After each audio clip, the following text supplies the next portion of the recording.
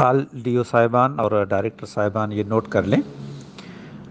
आज हमने वेरिफिकेशन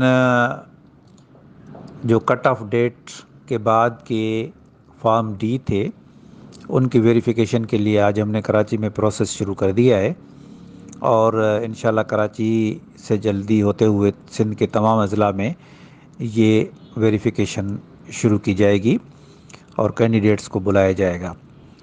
और दूसरी बात ये, एक बात का ख्याल रखें सारे डी डीओस कि, अगर वो ऑफ़र लेटर दे चुके हैं अपॉइंटमेंट कर चुके हैं, किसी भी स्टेज पे कोई भी केस है, आप उनका शनाख्ती कार्ड देखें कैंडिडेट का। अगर किसी भी शनाख्ती कार्ड में परमानेंट या टेम्प्ररी एड्रेस सूबे से बाहर है सूबे से बाहर किसी की भी परमानेंट एड्रेस या टेम्प्ररी एड्रेस है, किसी भी कैंडिडेट की, फौरी तौर पे हमें इतला दें उसका और उस केस को अबेंड्स में करें। अगर आप अपॉइंटमेंट दे भी चुके हैं, तब भी उसको अबेंड्स में रखें।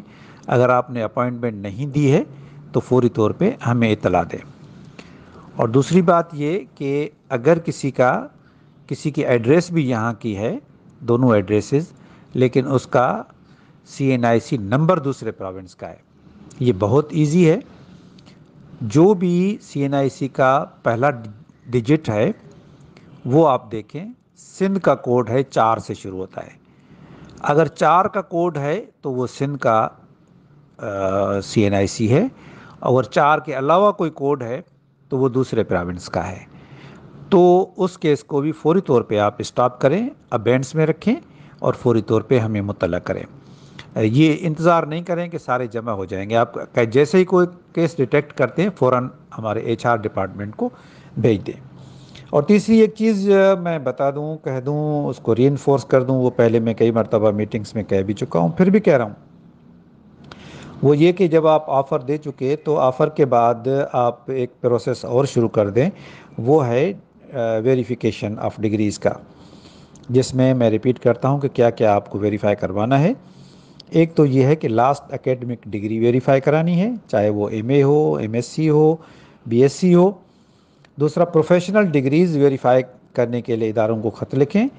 प्रोफेशनल डिग्रीज़ में बीएड है एमएड है और एडीई है, या कोई और भी डिग्री हो सकती है। मेरे ख्याल में तो ये तीन डिग्रीज़ हैं। चौथा, ये कि डोमिसाइल और पीआरसी फार्म डी ये आप वेरिफिकेशन के लिए कंसर्न डिप्टी कमिश्नर साहिबान को भेजें। और कट ऑफ़ डेट से पहले के बने हुए होने चाहिए। अगर पहले से बने भी हुए हैं तो भी आप उनकी वेरिफिकेशन करें डिप्टी कमिश्नर साहिबान को ख़त लिखें।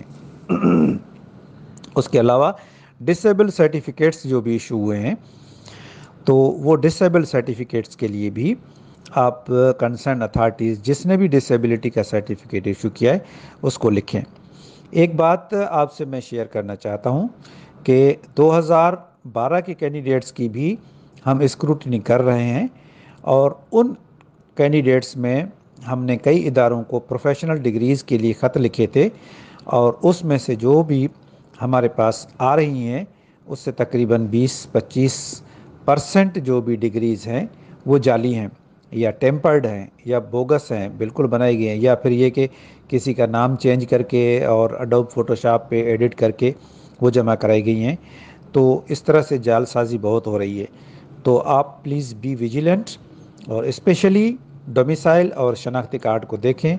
अगर किसी और सूबे के कैंडिडेट को जॉब मिल गई सिंध में तो उसका ज़िम्मेदार ना सिर्फ़ डीओ होगा, लेकिन डायरेक्टर और दूसरा अमला, चाहे उस डीओ के ऑफ़िस में क्लर्क हो सुप्रीडेंट हो डिप्टी डीओ हो, वो सारे के सारे ज़िम्मेदार होंगे।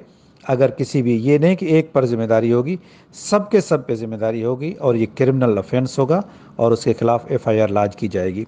सो प्लीज़ बी विजिलेंट ये नौकरियाँ सिंध के लोगों की हैं और इन पे राइट सिंध के लोगों का है। दूसरे सूबे वाले हमारे भाई हैं, लेकिन बेहतर यही है कि वो अपने सूबे में नौकरी